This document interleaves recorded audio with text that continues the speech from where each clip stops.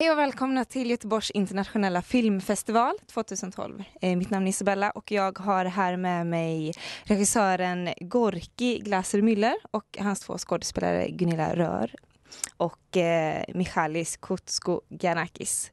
Vi har precis varit och sett en gång om året och eh, det var en stor succé måste jag säga. Väldigt mycket folk. Hur känns det? Det känns jättebra. Det är stort att så mycket folk har kommit för att titta på en sån här liten film som det ändå är. Jag vet att vi pratade väldigt mycket inne på Draken om, eh, om själva processen, att det var en väldigt speciell process rent skådespelarmässigt och ja, väldigt litet team. Jag skulle vilja att du utvecklar det lite för våra eh, webbtittare. Att processen var ungefär det här. Jag fick en idé som var sprungen från en dokumentär som inte går att göra. Det, liksom, men vad kan man göra istället?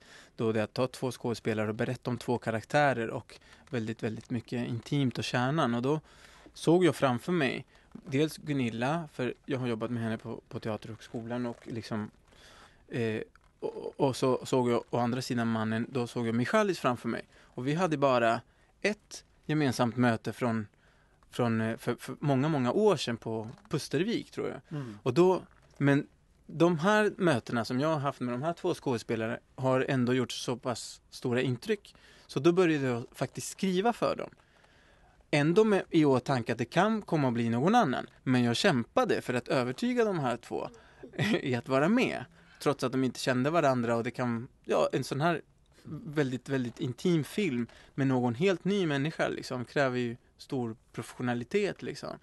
Eh, så då kan inte jag heller ta amatör eller liksom, man måste ha ett förhållande. Så att, och då skrev jag ett första ut, utkast som bara producenterna fick läsa, sen skrev jag kanske lite till och vid något tillfälle så fick de det.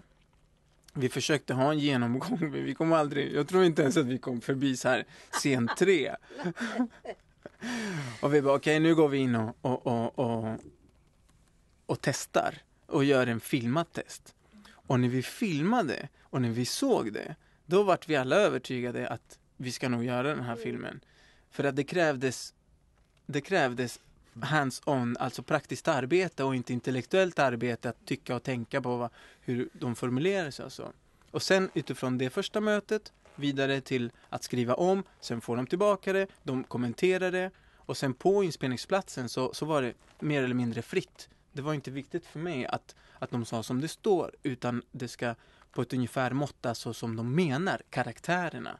Så då, då ägde de liksom eh, karaktärens möjligheter att uttrycka sig. Det är precis som du säger, mm. att vi mm. fick tag i liksom något underliggande ja. som gjorde att man slutade intellektualisera så mycket i alla fall som ja. man gjorde först. Eh, och när vi såg den så såg vi också att vi kunde ha en kemi, att vi ja. tyckte att ni, om att eh, vara med varandra. Det kunde man inte heller veta, för Nej. vi känner inte varandra. Och det är klart att ska man vara så här intim eh, så måste man ju gilla läget. Man kan inte göra det bara med vem som helst så här professionellt. Nej. Utan det måste ju ändå finnas någonting. Och det gjorde det ju då. Det kunde vi se att ja. det gjorde. Mm. Så då kunde vi bygga vidare på det. Och det var under väldigt, eh, vad ska man kalla det för, väldigt enkla omständigheter den här filmningen. Så det fanns ingenting att luta sig på eller prata om eller, eller fly någonstans. Det var ju bara vi tre. Mm. Det är många omständigheter runt omkring den här produktionen som är intressanta och spännande. Därför att ibland så kan det finns folk som säger jag har 20 miljoner, eh, jag måste få uh, 10 till annars så går det inte att göra den här filmen.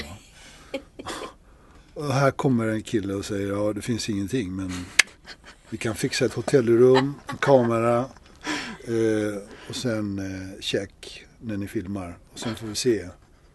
Då blir man provocerad på ett kreativt sätt.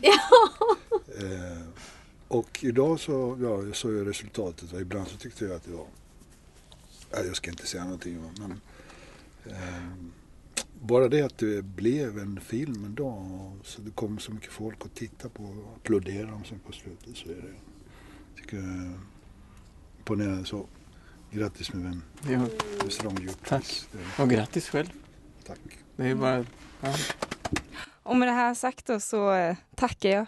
Fantastiskt. Underbar film. Tack. Tack. Tack.